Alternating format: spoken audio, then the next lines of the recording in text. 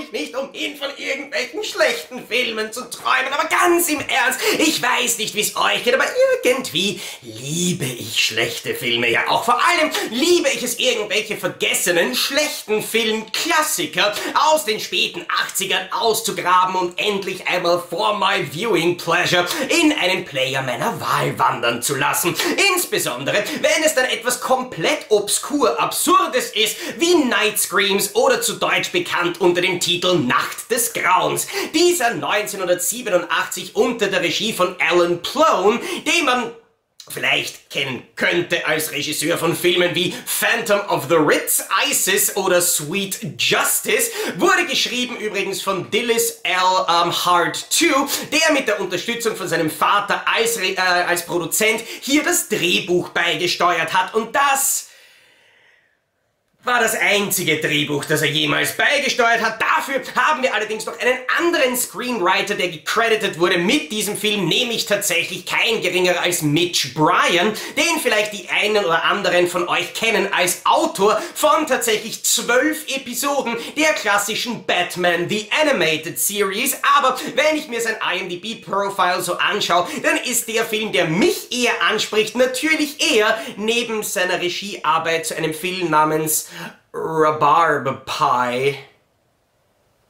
Eher der Film Alien Transformations aus dem besten Jahr 1988. Aber was vielleicht ebenfalls interessant sein könnte, die Filmmusik stammt von einem gewissen Michael Lynn, der einerseits äh, damals relativ oft für die Canon Film Group gearbeitet hat und damit als Supervising Music Editor äh, oder New Music Editor für Breakin' und Breakin' 2 gearbeitet hat, aber auch tatsächlich im Sound Department von Filmen gearbeitet hat wie Night of the Running Man, City Slickers 2, uh, A Nightmare on Elm Street, Freddy's Dead, The Texas Chainsaw Massacre 2, Steel Dawn oder American Fighter und dort sogar als Main Composer. Aber das ist bei weitem noch nicht das Spannendste an dem Horror-Thriller Nacht des Grauens, denn der Film ist mehr oder weniger eine gewisse Art Cut-and-Paste-Recycling-Partie, verwendet er an einigen Stellen doch einen Film im Film und zeigt uns Szenen aus dem Film Graduation Graduation Day aus dem Jahr 1981, der in Amerika von dem renommierten Label Vinegar Syndrome veröffentlicht wurde, in England von 88 Films als Teil der Slasher Classics Collection und hierzulande von Endless Classics im Verleih von ähm, Live, zu, im Vertrieb von Live zumindest eine DVD-Premiere bekommen hat. Aber nun wieder zurück zu Nacht des Grauens. Ein wirklich unpackbarer Film eigentlich, der mit den klassischen Slasher-Versatzstücken tatsächlich auch den ein oder anderen ganz gut blutigen, ganz gut ansehbaren Mord liefert und dementsprechend natürlich damals auf der alten deutschen VHS-Kassette von Ufer nicht in seiner vollständigen Fassung zu sehen war. Das änderte sich dann erst im Oktober 2015, als der äh, Film von Maritime Pictures eine deutsche DVD-Premiere erfahren hat und das dann auch gleich mit der ungeschnittenen Fassung. Und diese DVD erlebt jetzt fünf Jahre Jahre später im Jahr 2020, genauer gesagt am 5. August 2020 als Nummer 2, äh, 23 der äh, Super Spooky Stories Collection von WMM und AVV ein Revival im Mediabook. Und nachdem ihr wahrscheinlich, so wie auch ich, Fans von Mediabook Veröffentlichungen seid, freue ich mich, dass ihr heute eingeschaltet habt in meiner aktuellen Ausgabe von Playzockers DVD Check und freue mich ganz besonders darauf, euch in der heutigen Ausgabe das streng limitierte rezensierte deutsche Mediabook von Nacht des Grauens näher vorzustellen. Und ja, für Cinema-Snobs wie beispielsweise Filmkritiker Roger Ebert wäre die Nacht, in der er diesen Film sieht, dann tatsächlich eine Nacht des Grauens. Aber ganz ehrlich, für mich ist jetzt diese, ähm, sagen wir mal nach, als ich dieses Mediabook-Cover begutachten darf, definitiv das exakte Gegenteil davon. Denn was wir hier auf dem deutschen Mediabook von WMM und AVV sehen, ist meiner Meinung nach ein absolutes Gusto-Stückel der Mediabook-Frontcover-Kunst. Grundsätzlich sehen wir nämlich hier das alte deutsche VHS-Cover-Artwork von Ufer, das im Übrigen auch bereits für die 2015 veröffentlichte DVD von Maritime Pictures verwendet wurde. Dabei wurde das Cover aber an das DVD-Format etwas etwas anders angepasst. Wir hatten einen alternativen Titelschriftzug, der eher so eine Art handschriftliche Krakelei war und zwischen den beiden Motiven untergebracht wurde. Außerdem wurde das Bild auf der unteren Seite des Covers gespiegelt. So wie es jetzt auf dem Mediabook Frontcover ist, so war es tatsächlich auch auf der alten deutschen VHS-Kassette. Und da haben wir meiner Meinung nach eine sehr gute Interpretation von diesem Cover-Artwork. Natürlich musste man aufgrund der unterschiedlichen Formate der VHS-Hülle und hier des Mediabooks ein bisschen Material entfernen, so eben beispielsweise unten unterhalb von dem zweiten Motiv wieder so einen kleinen Kerstin Crew-Block. Ansonsten ist das Motiv aber wirklich absolut akkurat. Der Titelschriftzug zwar ein bisschen nach unten verschoben, um auch oben ein bisschen Material äh, entfernen zu können, ist genau derselbe, wie er damals auf dem alten Tape zu sehen war. Und das ist meiner Meinung nach eigentlich auch eine sehr, sehr coole Präsentation von diesem Filmtitel. Genauso wie auch die Tagline Diese Nacht kennt kein Erbarmen, die auf der rechten Seite von dem Cover zu sehen war und ebenfalls bereits genauso auf der alten deutschen VHS zu sehen war. Grundsätzlich finde ich persönlich dieses gezeichnete Covermotiv wirklich absolut großartig, vor allem der Blick von dem Typen, der hier aus der Tür rausschaut, so, äh, aber das ist wirklich absolut phänomenal gezeichnet. Man muss ja einfach nur mal auf die wirklichen Details von diesem Cover-Artwork achten. Auf die Haare, auf den Bart, auf generell die Augenpartie, was meiner Meinung nach sicherlich etwas von dem ist, was am allerschwersten zu zeichnen ist. Und ich kann das ehrlich gesagt bei meinen Strichmaxern ja sowieso auch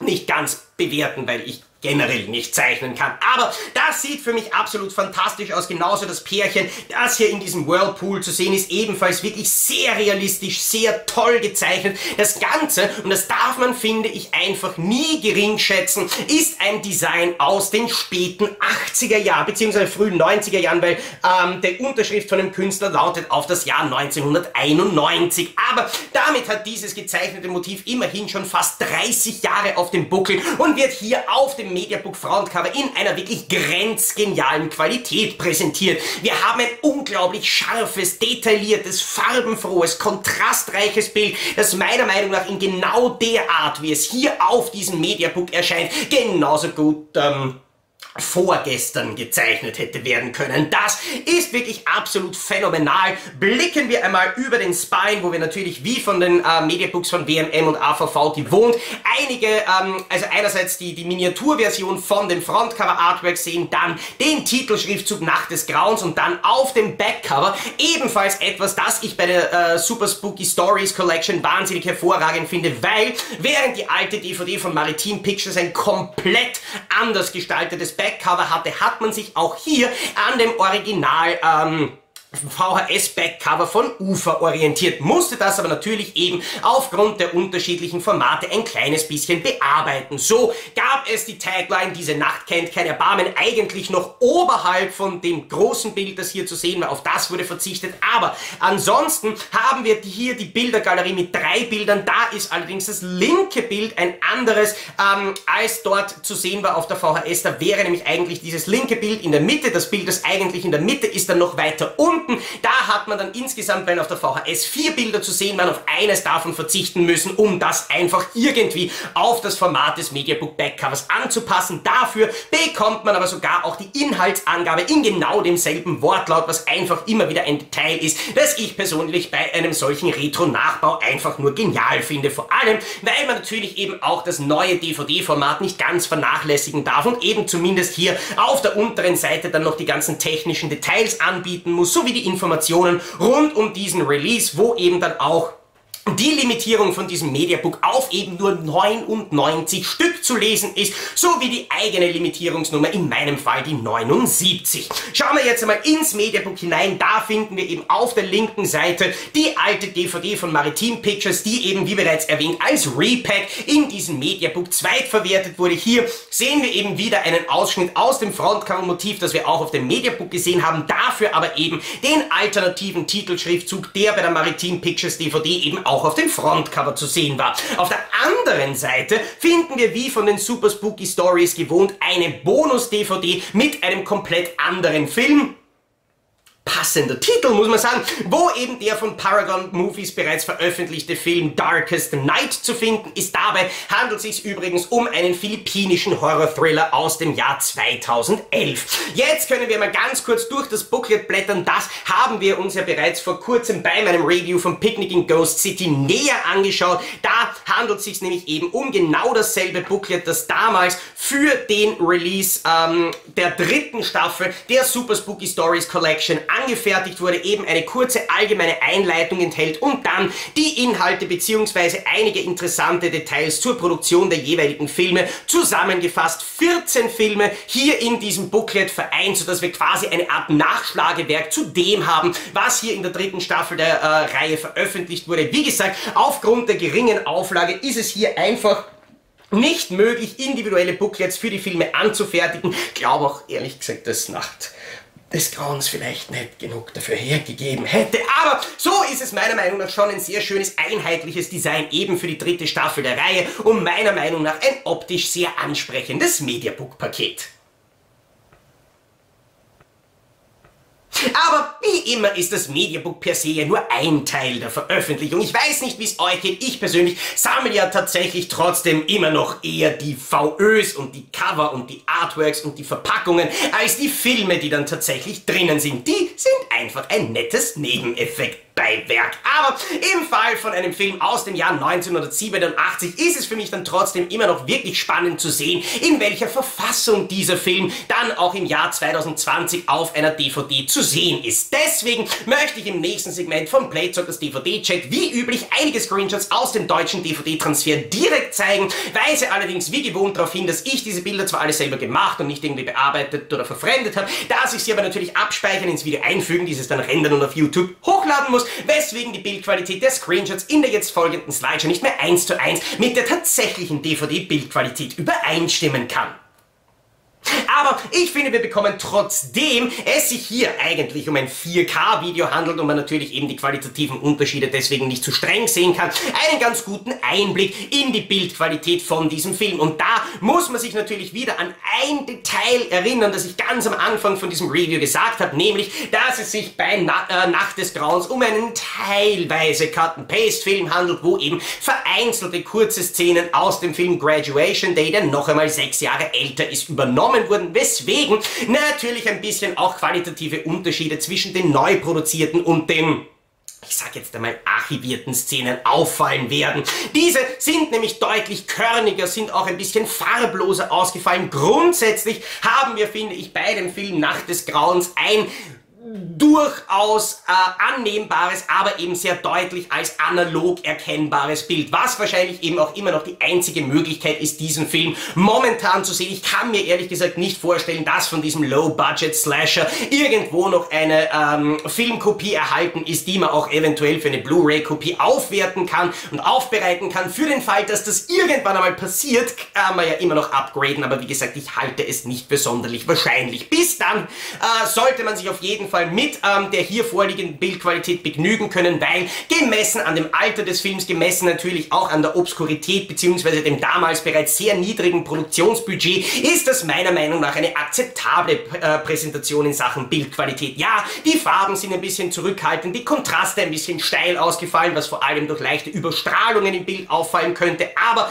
die Schärfe ist eigentlich gemessen an dem, was hier als Ausgangsmaterial vorliegen hat müssen, durchaus annehmbar und eben Fans von obskureren Filmen aus den 80er Jahren werden sich mit diesem Bild durchaus anfreunden können, weil vor allem, nachdem der Film ja Nacht des Grauens heißt, ist ja ein großer Teil des Films vor allem dann gegen äh, Ende tatsächlich in der Nacht spielend und da muss man dem Transfer eben tatsächlich zugute halten, dass hier in den dunkleren Szenen doch auch tatsächlich immer noch eine gewisse Durchzeichnung des Bildes vorhanden ist und man eben nicht irgendeine schwarze Masse sieht, wo man nicht mehr erkennen kann, was eigentlich passieren könnte, was man ja bei Filmen aus der Zeit dann tatsächlich doch auch öfter antreffen könnte. Hier allerdings ist das Bild für das, was der Film ist und für das, was der Film darstellt, meiner Meinung nach durchaus gelungen. Und ich weiß nicht, wie es euch geht. Ich persönlich freue mich immer wieder, wenn ich meine Sammlung an obskurem Slasher-Material, insbesondere natürlich, wenn das Ganze dann noch so weit geht und man sich einfach in bester Godfrey Ho Cut-and-Paste-Manier noch von einigen Szenen von anderen Filmen was geborgt hat, dann freut sich mein Sammlerherz. Und ja, ich habe das vorher vielleicht ein bisschen zu abrupt gesagt. Selbstverständlich bin ich auch an den Filmen interessiert, die in den verschiedenen Verpackungen enthalten sind. Aber meiner Meinung nach ist es dann trotzdem so, wenn man einmal als Filmsammler agiert und wenn man dann äh, verschiedene Reihen komplett haben will, dann verkommt der Film einfach zu ein bisschen einem Beiwerk, weil man halt dann doch einfach teilweise genötigt ist, denselben Film in verschiedenen Editionen hat und dann auch vielleicht ein Upgrade von einer Edition auf die andere vornehmen muss. Und das könnte ja einigen von euch eben jetzt auch bevorstehen, nachdem der Film Nacht des Grauens jetzt von WMM in einem Mediabook Repack veröffentlicht wurde. Ja, die DVD, die enthalten ist, ist zwar grundsätzlich dieselbe, die vor fünf Jahren bereits von Maritime Pictures erschienen ist,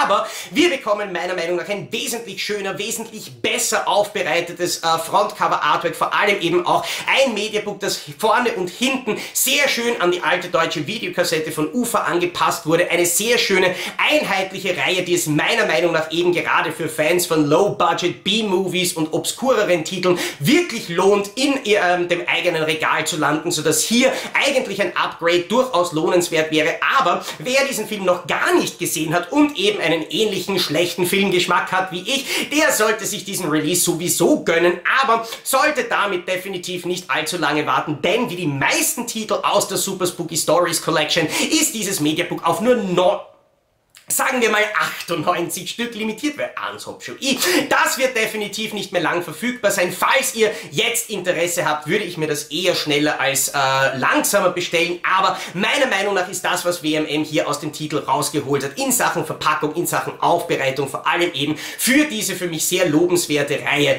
definitiv einen Kauf wert.